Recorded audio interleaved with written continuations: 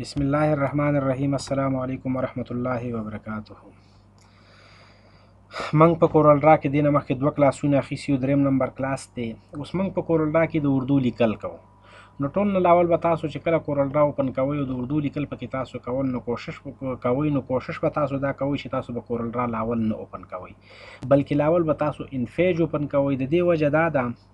چې کله تاسو کورل را مخکې اوفن کوي او انفیج روسته اوفن کوي نو بیا به د دې اثر زمونږ سره دا ولیږي چې را کورل را کې چې کم لیکل تا په اردو کې کلی او کورل را ته تراړو نه هغه زمونږ سره د ډاټټ په شکل کې د هندسو په شکل کې د کریکټر په شکل کې یعنی مختلف قسم کې عجیب او غریب قسم کې شکلونه به جوړ شوي تا په اردو کې لیکل کلی او کورل را ته چې دراړو نه هغه بیا سره شي یو قسم لا هغه سټایل به تاسو سره چینج وي نو کوشش و تاسو کوئ چې د کورل را د اوپن کېدو نه مخکې به تاسو ان پیج اوپن کړئ چې کله ان پیج اوپن کړئ بیا وروسته کورل را اوپن کړئ لکه دا زموږ سره کورل را چې شې شول هغه سره اوپن شول اوس زه د دې کورل را نه څه لیکل لکه دې ریکټنګل شیپ په ټول په مدد باندې ما دلته یو یو شکل چې دی هغه ما چې شی کو هغه ما ډرا کو او چې کله ما ډرا کو لکه تاسو دې ځګن کې خیال کوئ دا چې کله ما دا شکل راکو اوس دې له زه څه د اردو لیکل راوړل غواړم چېرې په دې کې زه د اردو لیکل وکړم نو تاسو به راشئ ان پیج ته په ان پیج کې به په دې ځای کې به ولیکئ چې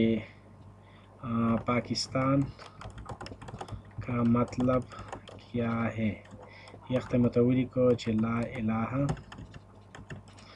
لا الہ الا الله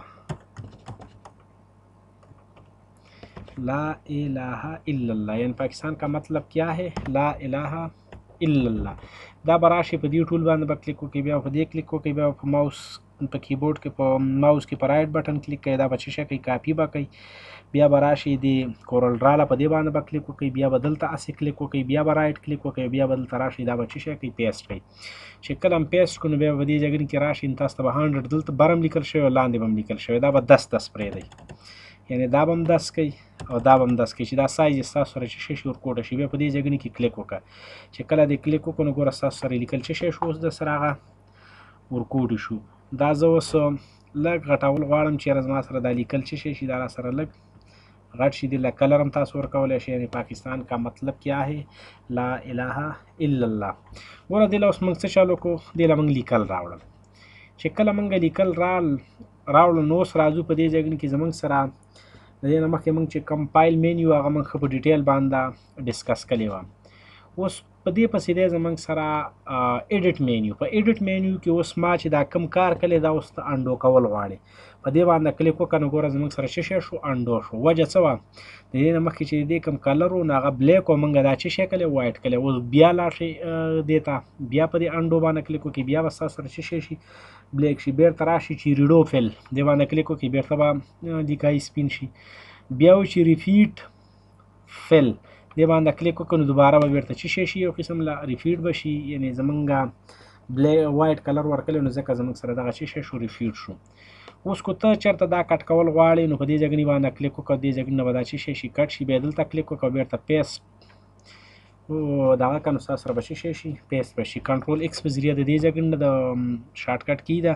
کنټرول وی زمونږ سره بیرته چی شي دی پیست دی دغه نه علاوه لکه دا زموږ سره کاپی کټ او فیس بوس ته دا ډیلیټ کول غواړي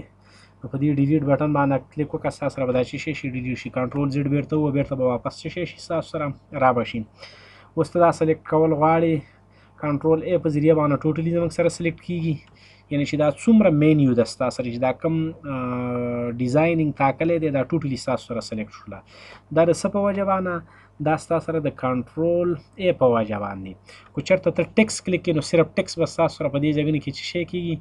ټیکس به سره سلیکټ کیږي او نور به نه سلیکټ کیږي لکه اوس مثلا موږ چې ته ټیکس کول غواړي نه د ټیکس نه علاوه ته وی چې راځه چې شي ګایډ لاین سلیکټ کول غواړم چې یعنی څه شي ته سلیکټ کول غواړي هغه د دې ځای نه شي کیږي قسم الله سلیکټ کیږي بیا دغه نه علاوه ګوره موږ دا اوس سلیکټ کړی دی ښه بېرته دا شو بیا راشه په دې ځای کې لیکلی چې فایند ان ریپلیس لکه څنګه چې موږ په ورډ کې په ایکسل کې په فوټوشاپ کې ښه په ډیټیل باندې ویلو چې را زمونږ سره فایند ان ریپلیس څنګه کیږي نو په دې کې هم دغه رنګ فایند ان ریپلیس شي کیږي کېدای شي چیرې یو چیز ته ریپلیس کول غواړي لکه بیګین سرچ نیو سرچ او بیا دا چې شي کا نیکسټ کا خو لهدا زموږ سره سی ډي نشته نو ځکه زموږ سره اوس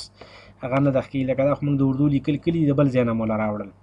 نو که ته یو ټکی بدلول غواړې نو ته هم په دې کې یو قسم له چینج کولی شې فایند ان ریپلیس اپشن پکې زموږ سره شته ابجیکټ ریپلیس کول غواړې ټیکس ریپلیس کول غواړې ریپلیس ټیکس فایند پینټم فایل پاین پینټ ان پایل آوټ لاین اور پرنټډ آوټ لاین دا زموږ سره مختلف قسم کې آوټ لاینز دي چې هغه ته د دې په ذریعه باندې چینج کولای شي لکه څنګه چې موږ وو چې یاره یو چې سپل تا لیکل دی او سپل کې ستانه ګرامیټیکلی غلطي شوې ده اته وی چې یاره زه دا سپل چې کوم دا چی کې کوم پاینډ ریپلیس یې کوم لاول یې فایند کوم بیا چې شي کوم ریفلیس کوم د دې په ذریعہ باندې دا چې شي کیږي کې دی شي دا غنه علاوه ته وی چې را زه د دې ډوپلیکیټ کاپی جوړه کوم نو کنټرول ډی و د دې نه ډوپلیکیټ کاپی جوړ شي ګوره دا زمنګ سره د دې چې شي شو لس ډوپلیکیټ کاپی شو د ډیلیټ نه بیرته چې شي کیږي ډیلیټ کیږي بیا راشه په دې ځګنې کې ګوره زموږ سره شکم د ډوپلیکیټ کاپی اپشن هغه زموږ سره ختم شو وجه څه چې په دې ځګنې کې موږ سلیکشن نه دی کړی اوس کو ته چرته د یو ټول سلیکشن وکې بیا لاړ شي ایډیټ ته په ایډیټ کې به دلته وی ډوپلیکیټ نو ګوره زموږ سره څه چالو شو ډوپلیکیټ کاپی را سره جوړه شو خو د دې لاندې را سره جوړه شو یعنی مخکې موږ دا سلیکټ کړو چې کله دا سلیکټ کې اوس به د دې ډوپلیکیټ کاپی جوړیږي خیال تا کوي چې کله زه کنټرول ډي یا دغه اپشن کلیک کوم کو چرته زه دا سلیکټ کوم او بیا څه چالو کوم ډوپلیکیټ کاپی و امنه ګور اوس به زما سره د دې لاندې ډوپلیکیټ کاپی جوړ شي د دې کلر د دې لیک د دا کوم لیکل چې په ما کې دې را سره نه جوړیږي کو چرته زه دا ټوټلی د سلیکټ کوم او بیا لاړ شم دې ته او په دې کې ډوپلیکیټ ووایم نو زما سره به اوس دواړه ځای څه شی کېږي ډوپلیکیټ کاپي را پر سره جوړېږي وجه دا ده چې ما بیکګراوند هم سلیکټ کړو په دې بیکګراوند چې دا کوم لیکل شوي دي دا ما سلیکټ کړو نو زما سره د دواړو نه شی کېږي ډوپلیکیټ کاپي جوړېدی شي د دغه نه علاوه بل دی زمونږ سره کلون لکه دا به تاسو لاول سلیکټ کړئ بیا به لاړ شئ ایډیټ ته په ایډیټ کې به لاړ شئ کلون ته چې کلون ته کله تاسو کلیک لاړ شئ ګوره دا هم زمونږ سره یو قسم له ډوپلیکیټ کاپي ده لکه دویمه که تاسو یې د کلون په ذریعه باندې اخلئ که تاسو یې هغه د ایډیټ مینیو په ذریعه باندې اخلئ بیا چې تاسو دا سلیکټ کړئ نو لاړ به شئ ایډیټ ته په ایډیټ کې دلته وایي چې کاپی پراپرټي پرام کنټرول شیفټ ای په ذریعہ باندې چې شي کیږي دا سلیکټ کیږي لکه اوس دلته ورکلی چې آوټ لاین دی آوټ لاین کلر دی فل دی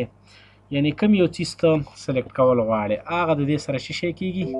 سلیکټ کیږي خدا په هغه دوران کې چې کله موږ بل یو لیر چې شي کلی هغه جوړ کلی نو زموږ سره به دا اپشن په دې باندې شي کیږي لاګو کیږي لکه اوس مثلا دا بیرته نو کو دا هم بیرته ختم کو دا هم ختم کو دا هم ختم کو او دا چې شي کو بیرته کینسل کو نو دا زمنګ سره چې شي شو هغه ایډیټ مینیو کې بس د کلونه پورې کار به کاپی ان شاء الله دې ځګنی پورې ودا کار کلاس کاپی په نیکسټ کلاس کې به نور په ډیټیل باندې والسلام علیکم ورحمت الله وبرکاته